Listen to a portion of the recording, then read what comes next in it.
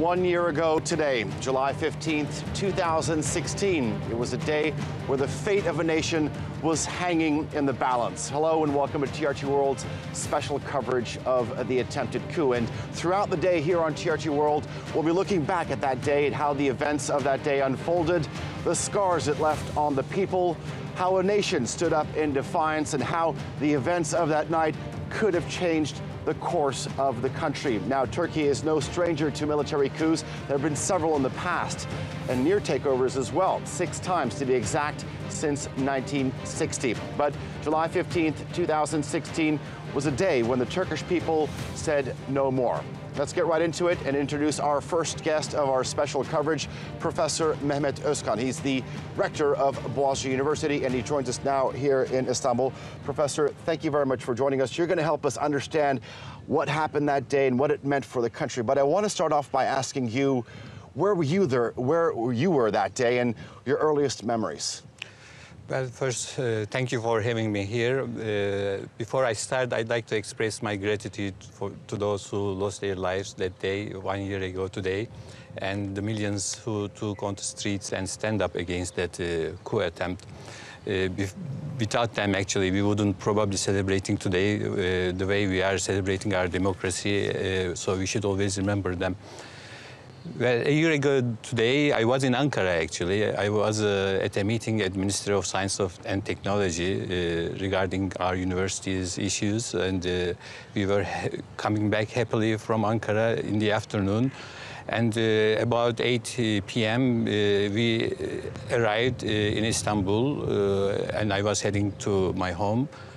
But I noticed actually something a little bit unusual because there were more security than usual on the streets. And I thought first maybe that's because some important person or a foreign visitor was coming uh, from the airport, so that's why. And uh, I didn't really associate it with so something. quite early on, you realized something yes, was not yes. something out of the normal. Yeah, I think it was not very normal that day. And I asked the taxi driver what's happening. Is someone important coming? And he said nothing that he knew of, but uh, he said that is more or less the same since 4 p.m. He said that I didn't really have any way of interpreting it. And of course, I was a bit tired, went back home. And about an hour later or so, we started hearing the news that the tanks were on the bridges and uh, something was happening. Everybody was trying to explain what's going on uh, without actually trying to associate it with, the, with any kind of coup attempt because that was past history for us, actually, uh, left in 1980s, so we were not expecting anything like that. We had a strong government, legitimately elected, democratically elected. So uh, it wasn't something uh, anybody expected, but then all the signs were adding up. You know, it was a coup attempt, uh, unfortunately. Uh, after we discovered that, uh, and uh, of course, we tuned onto the stations, TV stations, uh, both in Turkey and abroad. We're going to get a lot more, but let's actually let's remember those events. Right around the time that you were flying from Ankara to Izmir, at around 8:23 p.m. in that evening, a group of 33 Turkish soldiers belonging to these special elite forces convened at a Air Force base just outside of the nation's capital. There, their intention was to take over the General Staff headquarters, and soon after that, we saw tanks roll up on the bridge you see behind me, and F-16 fighter jets were dispersed across Turkey's cities. Andrew Hopkins takes a look back at how the night of defiance unfolded. Remember the dead here at the police special forces headquarters in Ankara. More than 50 people were killed here when F-16 fighter jets opened fire and fighting broke out. This officer managed to escape with his life after a piece of shrapnel hit him in the chest. Six months later, he finally managed to return to work. yani benim görüşüm darbeden çok istilaydı. Bir nevi ülkemizi... In my opinion, this wasn't a coup attempt, it was an invasion. Because normally in a coup, a government falls and another is formed. But they wanted us to become like Syria or Iraq. And if it was successful, things would not have got better. Inside the headquarters, there's an exhibition to commemorate those who died. Weapons melted in the heat of battle are lined up on shelves, alongside broken phones and keys of those who were killed. This is what the area looked like last year after the fighting. an officer's dormitory with its walls blown out, rooms reduced to piles of dust and rubble. This is what the site looks like now. All traces of the dormitory have been cleared away, but the events of last year on July the 15th are still clear in the minds of many people. It started as troops took over two bridges crossing the Bosphorus. And as it became clear a coup was taking place, airstrikes were carried out on government buildings, including Parliament, and at the police special forces headquarters in Ankara. Soldiers occupied state media, but politicians tried to rally the people. The president, on holiday in the Aegean, called a private TV channel via social media. This is an attempt by a minority within our armed forces. It's supported by the parallel movement in the state. I believe that they will be punished through the nation's unity and solidarity. People took to the streets, fighting back against the coup and the president escaped by minutes from an armed group sent to capture him. Soon after, the Turkish armed forces announced they were back in control. The soldiers behind the coup surrendered. The people had won, and Turkey had been changed forever.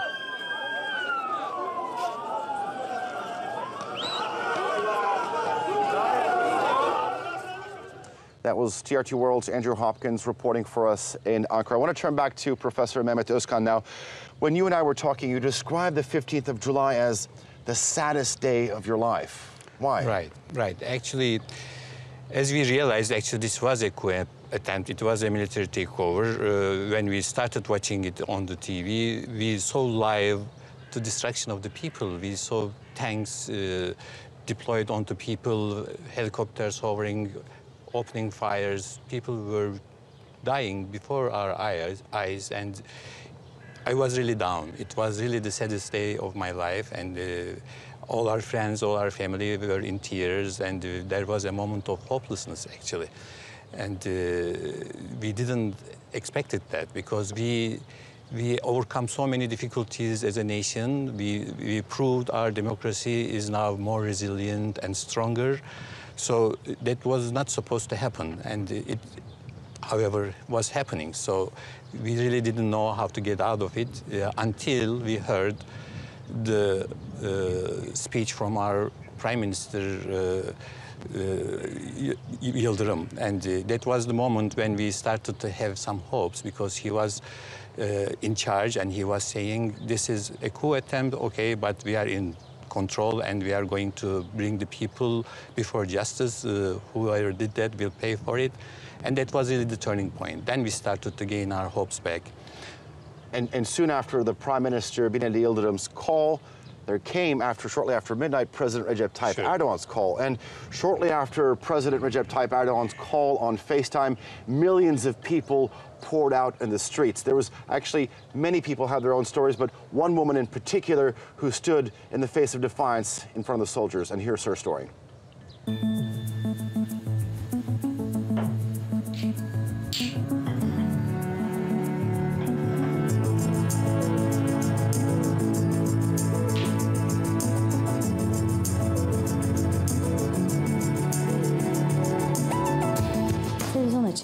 Normalde hani televizyon kullanıcısı değilimdir. Çok açmam.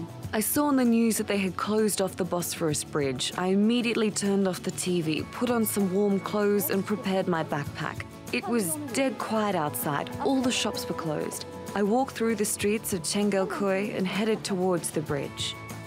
When I got there, I walked straight to the barricade and asked the soldiers why they had closed it off, but they didn't answer. I told them that I wasn't going anywhere. They then threatened to shoot me. One soldier even pointed his gun at my face and then fired a shot into the air. I felt the sparks fall on my head. But I looked at him and said, You can't scare me with that. The soldiers were livid. I saw the rage in their eyes. Realizing I couldn't speak any sense into them, I turned back towards the crowd of people waiting at the other end of the bridge. But as I was walking, the soldiers opened fire at the crowd and I was on my way to help an injured woman when I got shot in the leg.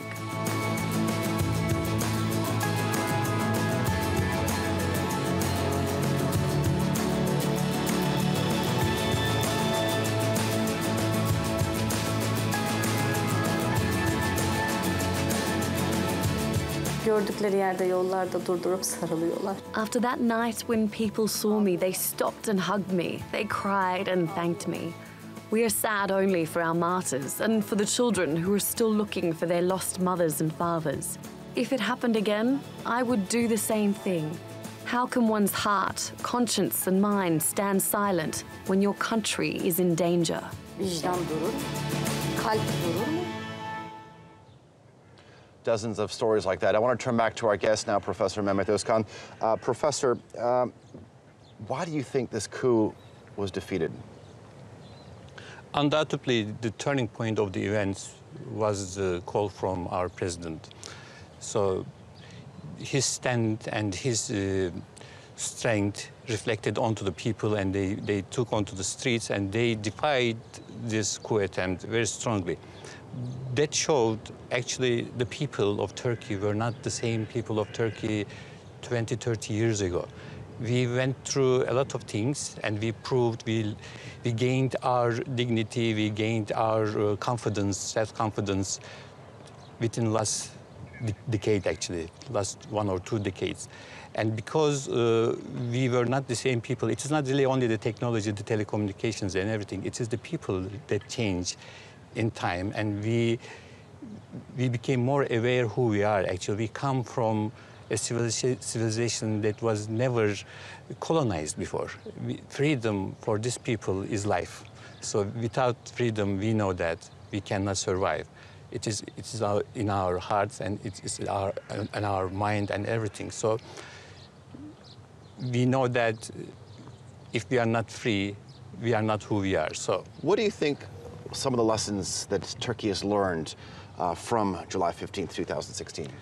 Well, no matter how strong we became, we learned that we are still under risk. So the threat is not over. So that means uh, we shouldn't be so overconfident, actually. There are things to be done, there are lessons to be learned. And one lesson I think we should strongly uh, take out from this event appointing people by merit is a key issue. So whatever institution we are at, we must make sure that the people we are working with are there because of their skills, their merit, and their open-mindedness, their open-heartedness, and their good conscience. So we must establish these kind of uh, establishments, and we must institu- institutionalize our uh, uh, facilities, our uh, whatever uh, you know, company or university we are working in, we must maintain that. Otherwise, it can easily be taken over if somebody with some bad intention uh, is controlling our staff, our people. Some very important messages. Thank you very much for joining us here on TRT World. That was Professor Mehmet Özkan from Boğaziçi University.